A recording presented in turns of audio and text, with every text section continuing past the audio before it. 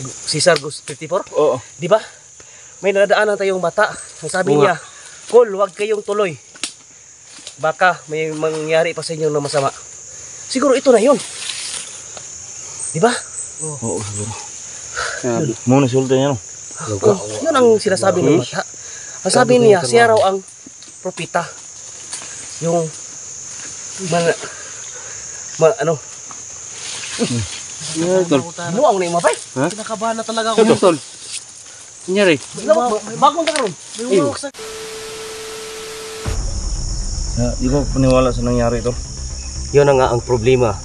Ikaw ang iniwan namin doon para makita yung bata. Pagkatapos eh, punta ka dito. Siguro gal- takot ka sa ano eh. Hindi ko takot tol, pero alam ko nga may nagbiro sa akin. Tagal ko mga ilang oras ako doon. Nintay sa bata, hindi dumating. Hmm.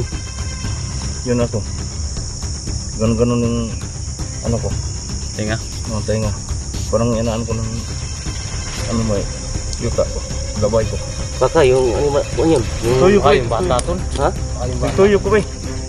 Tuno kong naawa. Ano ba? Wala ko dyan. Hmm. Ito nga. Kaya yung bata. Parang bata yun ba? Hindi ako. Tama no. Undo na biya yung bata. Hindi ba yun ano? Yung mosquito? Yung lamok na ganun-ganun sa yung ano? Bata. Yun. Bata yun tol. Yung bata ba? Kasi nandun natin nakita eh. Posible po. Pero parang visible yung bata tol. Oo nga. Posible man yung nagpunta sa Nandun man yun. Ha? Hmm? Nandun. Bata lagi. Na, yun. Baka darating yung bata ngayon. Wala ka, wala ka doon. Kaya hindi natin nakita yung bata. Nakita yung view mo sila. Dito babalik to. Hmm. Tol. Ito ba?